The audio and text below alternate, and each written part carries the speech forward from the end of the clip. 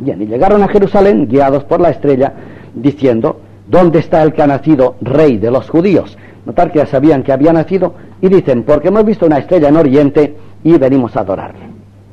Bueno, ahora, ahora fíjense, San Mateo escribe a los judíos. Supongamos que escribe a nuestra comunidad de hoy. Los magos son profanos, paganos, vienen de lejos. Venir de lejos es también una dimensión del hombre. Yo soy yo, pero lo más lejos que existe de mí soy yo mismo. Así soy de infinito y de grande. Siempre me ha emocionado aquella expresión de Homero. Homero era un, eran un montón de sabios, Homero. En aquel fuego de campamento que hacían los troyanos, un buen día se presentó un, extranjero que hablaba mal el griego. Y dice Homero que uno de los, de los troyanos, cuando vio a aquel hombre que hablaba mal, le preguntó nada más que esto, piense que bien, ¿tú eres tonto o vienes de lejos?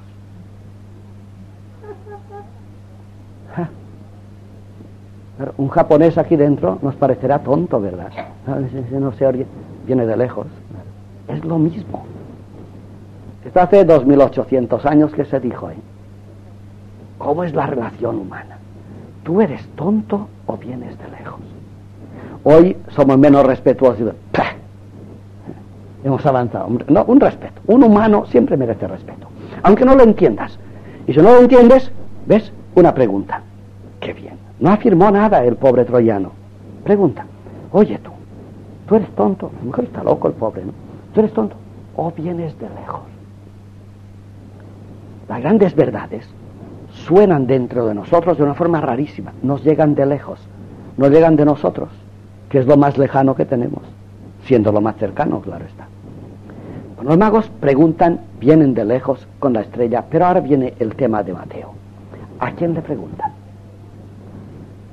Supongamos que somos los magos nosotros. Sabemos que, no sé qué, la estrella nos ha dicho que ha nacido un fenómeno por ahí y que ha nacido en Israel.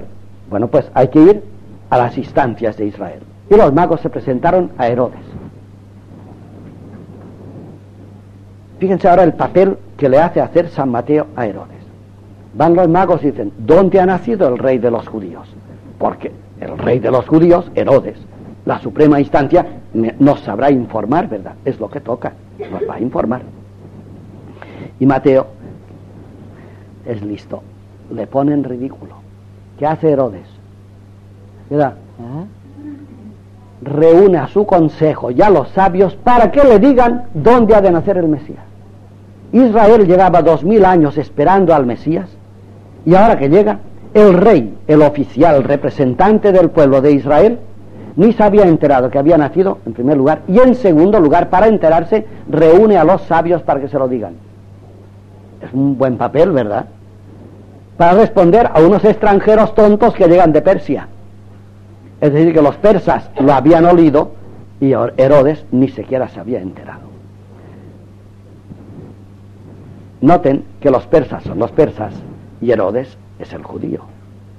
Y San Mateo habla a judíos las seguridades que como judíos tenéis, ni siquiera reunidas en las cortes, saben tanto como cualquier extranjero. Tradúzcalo al corazón del hombre. Todas las seguridades oficiales que tú tienes, lo científico, por ejemplo, reunido en Sanedrín dentro de ti, todo esto que sabes, sabe menos que lo que no sabes. ¿Hay que aceptar lo no científico o no hay que aceptarlo? ¿Qué papel más triste hace Herodes? No sabía nada. Y para contestar a los magos que venían de lejos o eran tontos, Herodes tuvo que reunir a su Sanedrín y preguntar, bueno, ¿dónde van a ser el Mesías? Leo el texto para que vean cómo San Mateo, con respeto pero con malicia, al oír esto, el rey Herodes se turbó, se quedó boquiabierto, y toda Jerusalén con él toda una cultura con él. ¿Lo ven la cultura? Toda Jerusalén es la capitalidad, Jerusalén, de la espera de dos mil años de israelitas. Y toda Jerusalén se turba cuando ha nacido el Mesías. Oye, pero no lo estabais esperando. Y reuniendo a todos los príncipes de los sacerdotes, fíjate, todos, fíjate qué procesión. Y reuniendo a todos los príncipes de los sacerdotes y a los escribas del pueblo, les preguntó dónde tenía que nacer el Mesías. Es digno que el rey pregunte dónde va a nacer el Mesías. Ellos contestaron, en Belén de Judá. Pues así está escrito por el profeta, que es eh, Miqueas, tu Belén serás, etc. Entonces Herodes, llamando a los magos, les orientó. Bueno, y fueron a Belén. Y los magos fueron los que adoraron al Mesías. Y una vez adorado al Mesías le ofrecieron presentes, es una descripción de cómo es el cristianismo, que ahora no nos interesa, y después de ofrecer presentes, emprendieron el camino a su casa.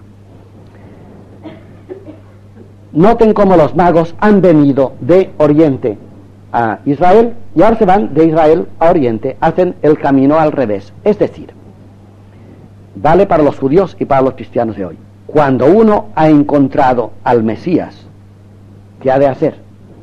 Hombre, quedarse con él en su casa.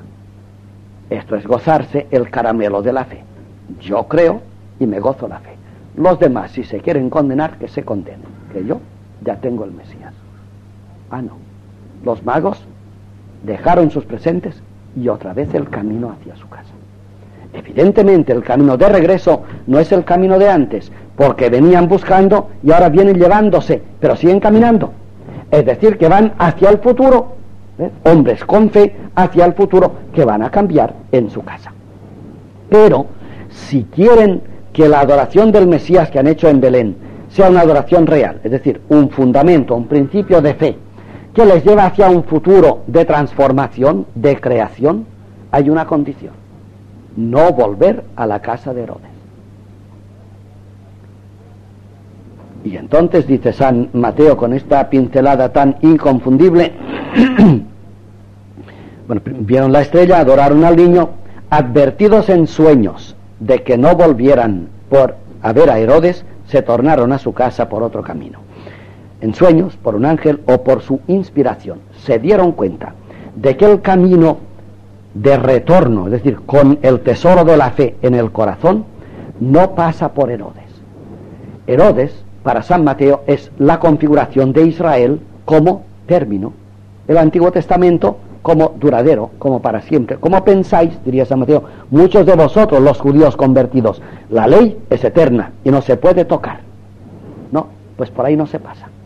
Los magos, una vez que vieron al Mesías, lo primero que entendieron es que no podían volver por la casa de Herodes, que es el lugar donde la fe no ha comenzado todavía y donde la ley gobierna.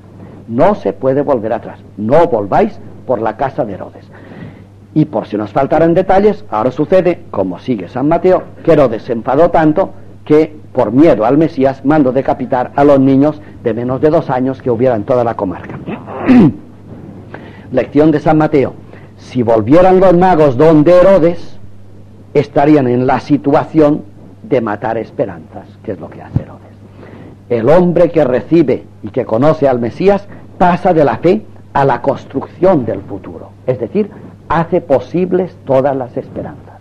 Y por tanto no puede volver nunca atrás hacia el lugar donde las esperanzas son matadas. Lección para nuestro tiempo y nuestro siglo, queridos hermanos. Si tenemos fe en Cristo, ha pasado la Navidad, esta fe es dinámica hacia un futuro.